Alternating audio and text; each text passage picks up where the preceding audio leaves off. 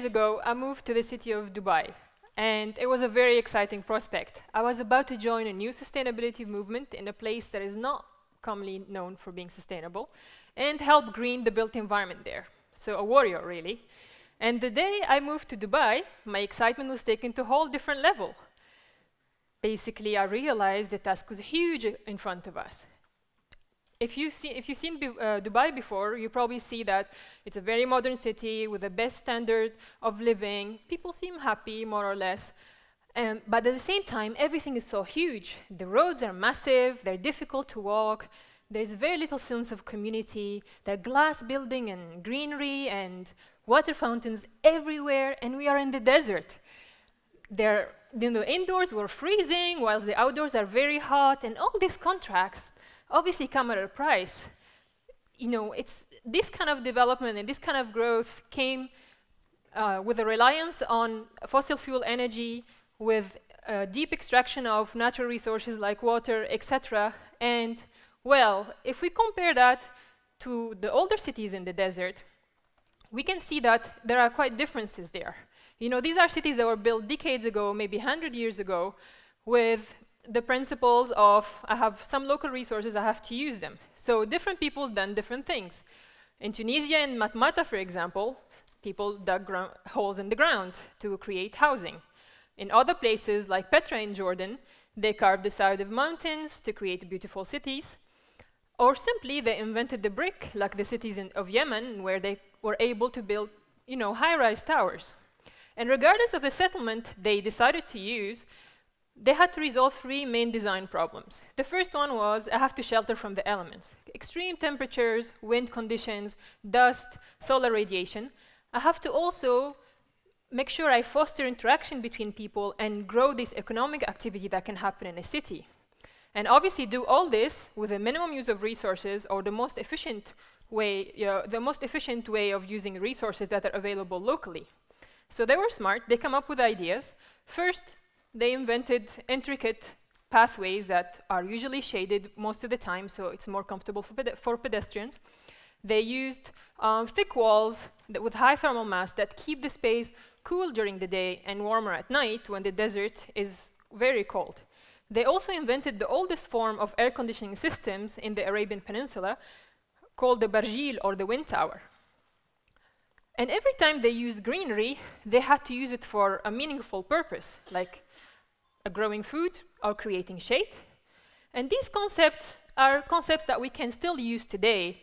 We can actually engineer them further, advance them further to get more energy efficiency, more water conservation in our building, more livability, because at the end of the day, our cities are there not just to be better for the environment, but for people and for economic growth, etc., to be more sustainable. And that's the kind of thinking we're trying to have as sustainability consultants, designers, engineers, architects um, in the region and elsewhere. We're trying to think about how can we do more with less. And the nice thing is, is that in our region, we're starting to see some good examples, modern example that is. Uh, the first one I would like to mention is um, the new progressive uh, sustainable urban policies that were developed by the government of Abu Dhabi. They're reshaping the neighborhoods a bit differently. There are neighborhoods now where we can walk easily in the shade, where we have different pocket parks, etc., where people can interact, uh, where we have a, a, true sense of community and complete communities where the facilities are closer to us and we can have access to them um, uh, easily.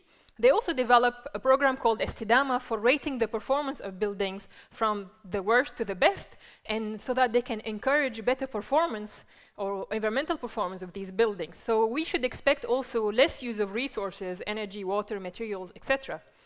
And we started seeing some examples also built.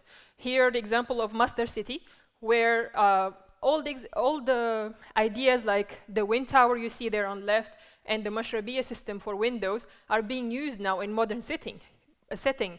But they're also using solar energy, they're doing calculations, optimizing the performance. And it's really exciting to see these kind of examples. We're actually on our path to developing better cities, better buildings, better neighborhoods, because it's very important. If we can make it work in the desert, it can work everywhere else. Thank you.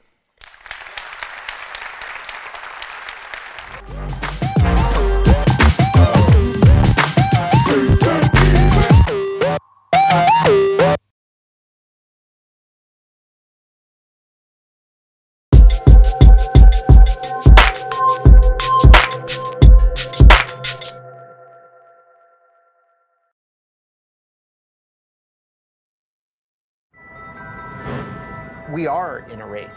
The race is against time. We have to build cities. We need them, but we have to make them in a different way. We need a wave of innovation, not only for our way of life, but also for the planet. The consequences would be enormous if we lose this battle.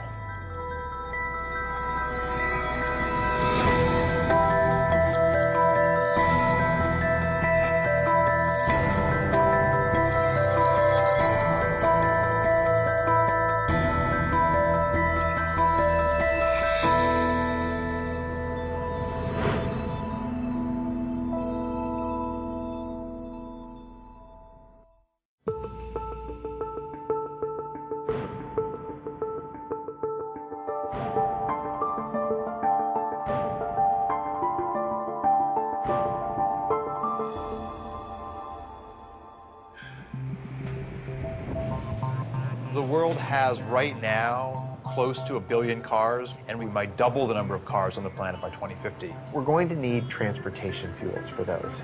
This has kicked off people looking at a whole range of other alternatives to petroleum in your tank.